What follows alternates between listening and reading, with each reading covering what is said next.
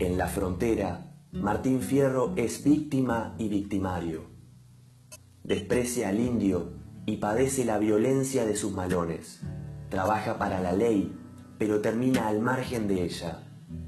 En un incidente, ofende a una mujer negra en un baile, se bate a duelo con su acompañante y lo mata. El gaucho Fierro ha cruzado otra frontera.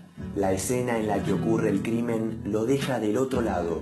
Ha insultado a una mujer y ha matado a un hombre.